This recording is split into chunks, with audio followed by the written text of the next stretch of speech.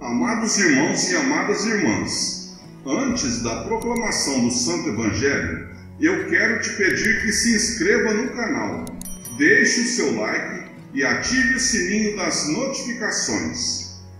Vamos fazer a oração do dia de hoje. Deus Pai e Todo-Poderoso, que sejamos motivados pela graça do Espírito Santo a fazer parte de Sua família conceda-nos a graça da conversão, para que possamos praticar os teus ensinamentos.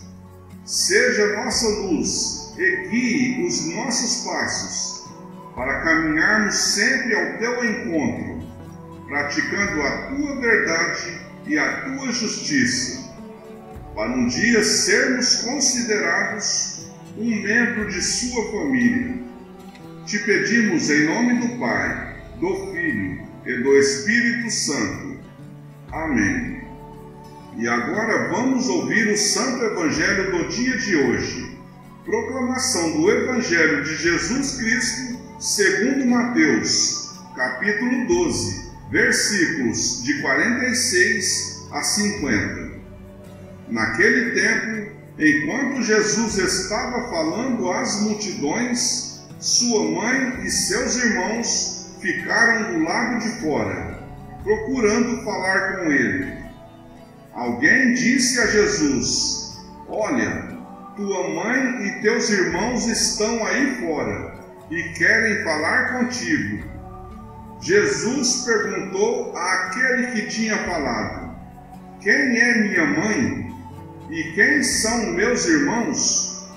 E estendendo a mão para os discípulos, Jesus disse: Eis minha mãe e meus irmãos, pois todo aquele que faz a vontade do meu Pai que está nos céus, esse é meu irmão, minha irmã e minha mãe. Palavra do Senhor. Amados irmãos e amadas irmãs, eu só quero te lembrar mais uma vez: se você ainda não é inscrito, se inscreva no canal, deixe o seu like e ative o sininho das notificações. Isso só vai demorar 10 segundinhos e é muito importante para o crescimento do canal, pois quando você se inscreve, deixe o seu like e ative o sininho das notificações, o YouTube mostra o nosso canal para novas pessoas e isso faz com que nossos vídeos alcancem um número maior de pessoas. Se inscreve aí, vai, é rapidinho. Amados irmãos e amadas irmãs, no Santo Evangelho do dia de hoje, vimos que durante toda a sua vida aqui na terra, Jesus sempre teve o desejo de fazer a vontade do Pai e que ele se fez um de nós para que pudéssemos conhecer o seu Pai e dizer para todos nós que o seu Pai também é nosso Pai. E através do Santo Evangelho do dia de hoje, somos chamados a fazer parte da família de Jesus. E Jesus nos apresenta uma única exigência: fazer a vontade do Pai que está nos céus. E a palavra do Evangelho de hoje faz a mesma pergunta que Jesus fez naquela época para cada um de nós: Quem é minha mãe e quem são meus irmãos? E o Senhor Jesus é muito claro e objetivo, dizendo: Pois todo aquele que faz a vontade do meu Pai que está nos céus, esse é meu irmão, minha irmã e minha mãe.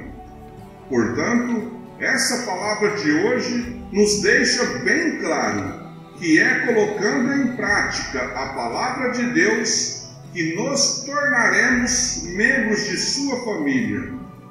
E para fazer a vontade do Pai que está nos céus, Jesus Cristo deixou a sua mãe para sair pregando o Evangelho.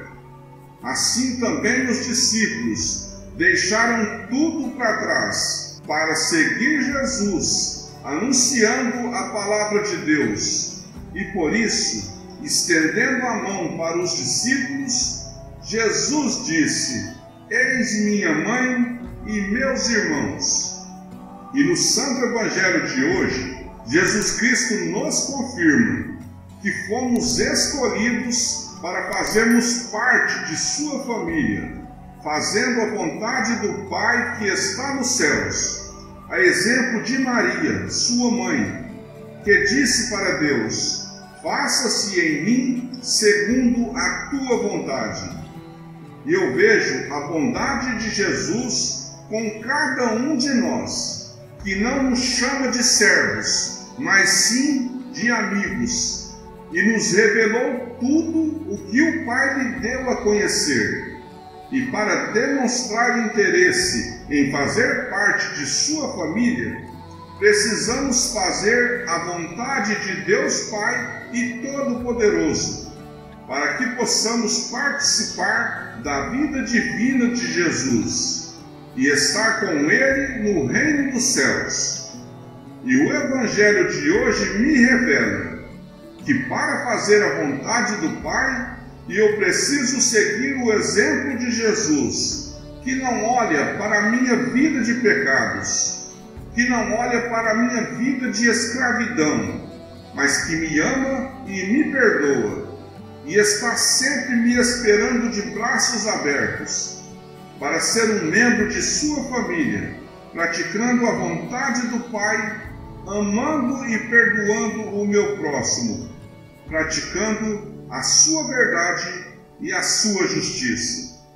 E para fazer parte da imensa família de Jesus, eu preciso seguir os teus ensinamentos e ter um coração puro, capaz de amar e perdoar o meu próximo, para mostrar ao mundo que eu sou um membro da família de Cristo.